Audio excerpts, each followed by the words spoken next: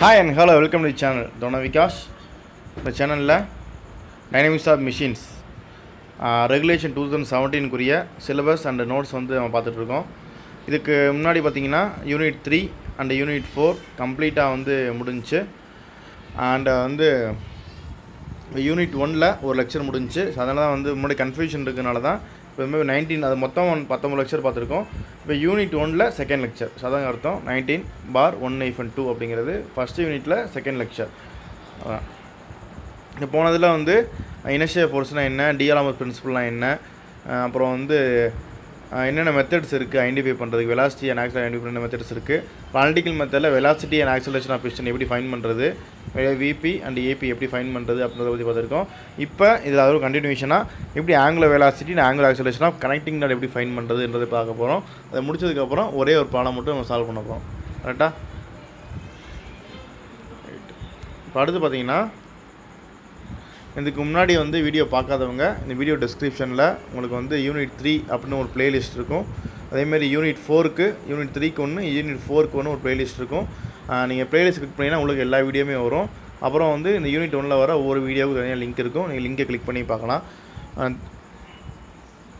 இப்போ இந்த டெரிவேஷனுங்கிறத வீடியோவில் பார்க்கலாம். லாஸ்ட் கிளாஸில் பார்த்த வரைக்கும் ஃபார்முலா வந்து velocity of piston VP equal to omega into R sine theta plus sine theta by two N அப்படின்ற ஃபார்முலா அப்படி ஆக்சலேஷன் ஆஃப் பிஸ்டனுக்கு வந்து இங்கே இருக்குது acceleration of piston omega omega ஸ்கொயர்டாரும் வரும். அதாவது டெரிவே டிஃப்ரென்ஷியேட் பண்ணிங்க அப்படின்னா omega squared r cos theta plus cos two theta by n ரெண்டு ஃபார்முலா பார்த்துருக்கோம். அப்புறம் வந்து sine phi equal to sine theta by n அப்படின்ற ஒரு ஃபார்முலா பார்த்துருக்கோம். அப்புறம் N equal to L by R அப்படின்னு ஃபார்முலா தென் எக்ஸ் டிஸ்பிளேஸ்மெண்ட் கொடுத்தாங்க மட்டும் அப்படின்னா அதுக்கு என்ன ஃபார்முலாங்கிறதையும் நம்ம பார்த்துருக்கோம். இப்போ அடுத்து கண்டினியூஸாக வந்து நம்ம ஆங்குலர் வெலாசிட்டி ஆக்சல் ஆக்ஷனும் கண்டிங் டாட் அப்படின்றத பார்க்க போகிறோம் சரி நமக்கு ஒரு ஃபார்முலா தெரியும். Sine phi equal to sine theta by n இதை வச்சு நம்ம சால்வ் பண்ண போகிறோம் இந்த ஃபார்முலா வந்து தெரிஞ்சு அப்படின்னா நம்ம இதில் என்ன செய்யலாம்னா டிஃப differentiating both side respective time t time t differentiate பண்ணோம் அப்படின்னா இந்த சைன் பை டிஃப்ரென்ஷியேட் பண்ணால் காஸ் பை இந்த டிபை டிஃபன் டிஃபரன் d by dt so cos phi into d phi by dt equal to sine difference எப்படின்னா cos theta by n into அந்த theta டிஃபரன் d theta by DD சொன்ன வந்துருச்சு. ஓகே இப்போ cos theta by n into d dt omega so அதான் என்ன இருக்காங்க அப்படின்னா cos theta by n into omega அப்படின்னு இருக்காங்க. இப்போ உமையா பிசி வேணும் அப்படின்னா ஸோ உமையா பிசி அதாவது நம்ம கண்டிங் இந்த டயராம் போட்டோம் அப்படின்னா இது வந்து தீட்டா இது வந்து பை அப்புறம் நமக்கு வந்து இந்த பை இந்த ஆங்கில விளாசி வேணும் அப்படின்னா இந்த பையை ரெஃபரன்ஷியேட் பண்ணணும். சுமையா PC equal to d phi by dt நம்ம எப்படி இந்த டி தீட்டா பை டிடின்னு போடுறோமோ அதே மாதிரி இங்கே டிபை பை டிடி இப்போ டிபை பை டிடி அப்படி போட்டோம் அப்படின்னா இங்கே வந்து பார்த்தோம்னா இந்த இந்த ஈக்குவேஷனில் ஃபஸ்ட் மேலே ஈக்குவேஷனில் பார்த்திங்க அப்படின்னா cos phi into d phi by dt இதை விட்டுருங்க. Cos phi into phi dt கொல்ட்டு cos theta cos phi n into omega அப்படின்னு ஃபார்முலா வந்திருக்கு. நமக்கு டிபை பை டிடி தான் வந்து வேணும் அப்படின்னா இந்த டிபை டிடி தான் வேணும். அப்போ என்ன செய்யலாம்? Cos phi n divide by omega by cos அப்படின்றது இல்லாமல் சதாங்க காஸ்தீட்டா பையன் by n into omega by cos phi இந்த காஸ்தீட்டா பையன் பை என் இந்த காசி காசி ஒன்றா ஆக்கிடலாம். So cos theta by n by cos theta by into omega by n உமையாவும் என்னையும் ஒரே கொண்டு வந்துருக்காங்க. ஸோ இப்படியே தான் பிரச்சனை இல்லை. நம்மளோட வசதியாக இப்படி கொண்டு வந்திருக்கோம். இப்போ நமக்கு இன்னொரு ஃபார்மில் தெரியும். இந்த காஸ் பை அப்படின்னா நம்ம சால்வ் பண்ணி வச்சு டெரிவேஷனில் போன டெரிவேஷன் போட்டிருக்கோம். இந்த காஸ் பை அப்படின்னா ஒரு வேல்யூ வந்து one minus sine square theta by n square root of root of one square one square sine theta by one minus sine square theta by n square அப்படிங்கிறதா இந்த cos பைக்குரிய value இப்போ இங்கே cos பைக்குரிய value இங்கே apply பண்ணோம் அப்படின்னா omega PC equal to omega by n constant omega பையன் அப்படியே வச்சிடலாம். காஸ் தீட்டாவும் அப்படியே போட்டுடலாம். இந்த காஸ் பைக்கு பதிலாக root of one minus sine square theta by two square இந்த ரூட்டுக்கு பதிலாக பவர் ஒன் பை டூ அப்படின்னு போட்டுருக்காங்க. So one minus sine theta by n square ஒரு ஒன் பை டூ அப்படின்னு போட்டாச்சு.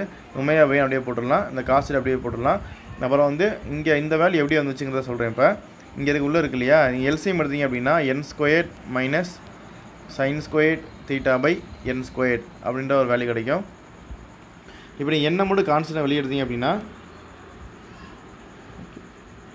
இப்போ பார்த்தோம்னா n n square minus sine square theta by n square இந்த என் இது வந்து இதுக்குள்ளே இருக்குது ரூட்டுக்குள்ளே இருக்குது பவர் ஒன் பை டூக்குள்ளே இருக்குது நான் வந்து இந்த என் ஸ்கொயர்டை இதுக்கு ப்ராக்கெட் வெளியே கொண்டு வரணும் அப்படின்னா ஒரு எண் இண்டியன் ஒரு எண் ஒரு எண்ணை வெளியே வரும். உள்ளே வரும்போது ஸ்கொயர்டாக இருக்கும் வெளியே வரும்போது ஒரு எண் ஆயிரும். ஒரே வெளியே வரும் ஒரே ஒரு எண் மட்டும் தான் இருக்கும் so one by n into n squared minus sine square theta அப்படின்ட்டு இருக்கும். ஸோ எப்படி வந்து புரிஞ்சுக்க நினைக்கிறேன் உங்களுக்கு? ஏன் இந்த வெளியே ஒன் பை என் இருக்குன்னா இது ரூட்டுக்குள்ளே இருக்கிறத வெளியே கொண்டு வரும்போது ஒரு எண் குறைஞ்சிடும் ஸோ அதான் வந்து இங்கே காரணம். சரி நீங்கள் வந்து மொத்தமாக ஃபார்முலா போட்டிங்க அப்படின்னா omega into cos theta divide by n n cancel பண்ணிடலாம்.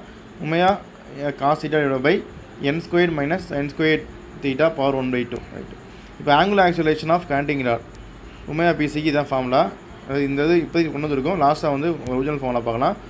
இப்போ வந்து ஆல்ஃபா பிசி ஆங்கிள் ஆக்சுவலாக கேண்டிங் ராட் பார்த்தீங்கன்னா அதுக்கு வந்து d into omega PC by dt d into omega PC by dt omega பிசியை கண்டுபிடிச்சிருக்கோம். Omega cos theta by n square minus sine square theta power one by two அப்போ இந்த இதை நம்ம solve பண்ணோம் அப்படின்னா நமக்கு ஒரு பெரிய ஈக்குவேஷன் வந்து இவ்வளோ இவ்வளோ தூரம் போட தேவையில்லை. எக்ஸாமில் கேட்டால் கூட நீங்கள் இந்த வரைக்கும் அதாவது இந்த- இந்த எழுதிக்கிங்க. எழுதிட்டு இல்லை இந்த ஸ்டெப்பை எழுதிக்கிங்க. D omega PC by dt இருந்தால் D by D the theta omega PC உடைய ஃபார்மில் omega cos by n square n square theta one by two after differentiating இந்த வேல்யூஸ் அப்படின்னு எழுதிட்டு இதெல்லாம் தேவையில்லை. இதெல்லாம் எழுதுனீங்கன்னா ரொம்ப டைம் எடுக்கும். சில தப்புறது வாய்ப்பு இருக்குது ஆஃப்டர் டிஃப்ரென்ஷியேட்டிங் இந்த ஈக்குவேஷன் வி கெட் அப்படின்னு போட்டு alpha PC equal to minus omega square sine theta into n square minus one by n n square minus n square theta power three by two அப்படின்னு போட்டுங்க universe examination இதே மாதிரி solve பண்ணிங்க இந்த இதை கொஞ்சம் மனப்படம் பண்ணுற மாதிரி தான் இருக்கும். ஏன்னா நீங்கள் இடையில வந்து அவ்வளோ வேலையும் போட்டு பண்ணும்போது டைம் எடுக்கும் தப்பு வர சான்ஸ் இருக்குது ஸோ நீங்கள் இந்த மாதிரி சால்வ் பண்ணிக்கோங்க. அடுத்து வந்து ஃபார்முலாக்குள்ளே போக போகிறோம் இந்த நெகட்டிவ் சைன் நெகட்டிவ் சைன் இருக்கு இல்லையா? இந்த negative sign shows that the sense of acceleration the sense of acceleration of the connecting rod is such that it tends to reduce the angle by இந்த ஆங்கிள் பை பார்த்தோம் இல்லையா? இந்த பையோட angle வந்து அடுத்தது கீழே வர வர குறைஞ்சிக்கிட்டே போகுதுன்றதுக்காக தான் மைனஸ் கொடுத்துருக்காங்க. ஆனால் ஃபார்முலாவில் போடும்போது இந்த மைனஸுங்கிறது பெரிய எஃபெக்ட் இருக்காது. ஸோ மைனஸ் பண்ண அவசியம் இல்லை. ஸோ நம்ம ஆங்கிள் வந்து இன்க்ரீஸ் ஆகுது டிக்ரீஸ் ஆகுதா பற்றி பிரச்சனை கிடையாது. நமக்கு தேவை ஒரு ஃபார்முலா ஓகே இப்போ பார்த்தீங்கன்னா சயின்ஸ் ஸ்கொயர் தீட்டா இங்கே இருக்கு இல்லையா? அந்த சயின்ஸ் ஸ்கொயர் தீட்டாங்கிறது ரொம்ப ஸ்மால் அதாவது small as compared to n square n square compare பண்ணும்போது இந்த சயின்ஸ் ஸ்கொயர் தீட்டா ரொம்ப ரொம்ப சின்ன வேல்யூவாக இருக்கும். தேர்ஃபோர் இட் மீம் நெக்லெக்ட் இருந்து இந்த வேல்யூ நெக்லெக்ட் நெக்லெக்ட் பண்ணிடலாம். அதான் என்ன செய்யலாம் அப்படின்னா ஈக்குவேஷன் இந்த ஒன்று ஒன்றுன்றது என்ன அப்படின்னா உமையா வச்சு வர வேல்யூ தான் ஒன்று இங்கே பார்த்தீங்கன்னா equation one omega PC to omega cos theta by n square minus n square theta power one by two அவன் பார்த்தது. இந்த ஈக்குவேஷன் ஒன்னையும் இந்த ஈக்குவேஷன் த்ரீ லாஸ்ட்டாக வந்துச்சு இந்த ஈக்குவேஷன்லையும் நம்ம சயின்ஸ் ஸ்கொயர் தீட்டா எடுத்துட்டோம் அப்படின்னா நமக்கு உமையா பிசிங்கிறது உமையா காசிட்டா பை என் அப்படின்னு வேலை கிடைக்கும். இங்கே நம்ம ரிமூவ் பண்ணிட்டோம் அப்படின்னா minus omega square sine theta by n into n square minus one by n cube அப்படின்னு ஃபார்ம்லாம் இருக்குது அதே மாதிரி இந்த யூனிட் இந்த ஈக்குவேஷன் த்ரீயில் பார்த்தீங்க அப்படின்னா யூனிட்டி இஸ் ஸ்மால் இந்த யூனிட்டிங்கிறது small as compared to n square n square compare பண்ணும்போது ரொம்ப சிறுசாக இருக்கும். ஹென்ஸ் இந்த term may be neglected so இந்த டேர்ம் நெக்லெக்ட் பண்ணோம் அப்படின்னா இந்த டேர்ம் மொத்தம் நெக்லெக்ட் பண்ணியாச்சுன்னா ஓகே அதாவது இந்த டேர்னை omega square sine theta into n square divide by n square இந்த டேர்ம் ஃபுல்லாக போயிடும் இன்ட்டு என் ஸ்கொயர் அப்படின்னு வரும்போது இந்த பார்த்தீங்கன்னா இந்த என் ஸ்கொயர் என் ஸ்கொயர் வந்து அது மாதிரி போடும்போது போட பார்க்கலாம் சால்வ் பண்ணலாம். அதாவது omega square sine theta into N square divided by N square power three by two அப்படின்னு போடும்போது அது two into three by two அப்படின்னு டூ டூ கேன்சல் ஆயிரும். ஸோ என் க்யூப்னு கிடைக்கும். என் இன்ட்டு என் இன்ட்டு என் வேலை கிடைக்கும். இந்த என் ஸ்கொயர்டும் என்ன கேன்சல் பண்ணிங்க அப்படின்னா omega square sine theta by N omega square sine theta by N அப்படின்னு வேலை கிடைக்கும். இது வந்து ஆங்கில ஆக்சிலேஷன் ஃபார்முலா இது வந்து உமையா பிசிக்குரிய ஃபார்முலா ஸோ அவ்வளோதான் ரொம்ப சிம்பிளாக முடிஞ்சுச்சு. இது வரைக்கும் ஃபார்முலா பார்த்துருக்கோம். ஸோ எப்படின்றது உங்களுக்கு புரிஞ்சுன்னு நினைக்கிறேன். கொஞ்சம் ஃபாஸ்ட்டாக போயாச்சு. நீங்கள் வந்து ஸ்டெப் பை ஸ்டெப்பாக சால்வ் பண்ணி பாருங்கள் இது ஒரு இம்பார்ட்டன்ட் கொஸ்டின் உங்களுக்கு யூனிட் ஒனில் இந்த டெரிவேஷன் வாய்ப்புகள் நிறையா இருக்குது அடுத்து பார்த்தோன்னா ஒரு ப்ராப்ளம் பார்க்குறோம். ஸோ ஃபார்முலா என்னென்னங்கிறது உங்களுக்கு உங்களுக்கு ஒரு கிளான்ஸ் நம்ம பார்த்துருக்கோம். அது N equal to N equal to L by R அப்படின்னு ஒரு ஃபார்முலா அப்புறம் sine phi sine phi equal to sine theta by N அப்படின்றது ஃபார்முலா அப்புறம் வந்து எக்ஸுக்கு ஒரு ஃபார்முலா பார்த்துருக்கோம். எக்ஸ் வரப்போ நம்ம இன்னும் டீட்டெயிலாக பார்க்கலாம்.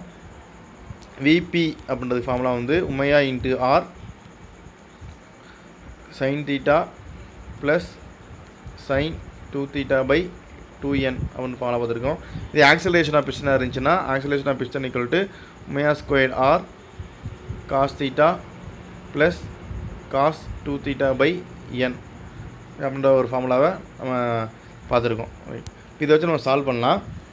ஃபஸ்ட்டு வந்து if the crank and the connecting rod are three hundred mm and one metre long respectively so first வந்து crank second connecting rod first கொடுக்குறது கேண்டி கிராங்கோட length R connecting rod length one metre L இப்போ L ஆறு வந்து three hundred எம்எம்னா zero point three metre L வந்து one metre அந்த crank rotates at constant speed of two hundred rpm speed two hundred rpm so என்ன two hundred RPM determine என்ன கேட்குறாங்க the crank angle at which the maximum velocity occurs maximum velocity of the piston so ரெண்டு கேள்வி கேட்குறாங்க so crank angle at which the maximum velocity occurs maximum velocity piston இப்போ maximum velocity எப்போ occur அப்படின்னா when velocity of piston that is omega into R sine theta plus sine two theta by two N equal to zero அப்படி இல்லை அப்படின்னா this DVP by D theta equal to zero இந்த மாதிரி கண்டிஷனில் இருக்கும்போது இந்த கண்டிஷனில் டிவிபி பை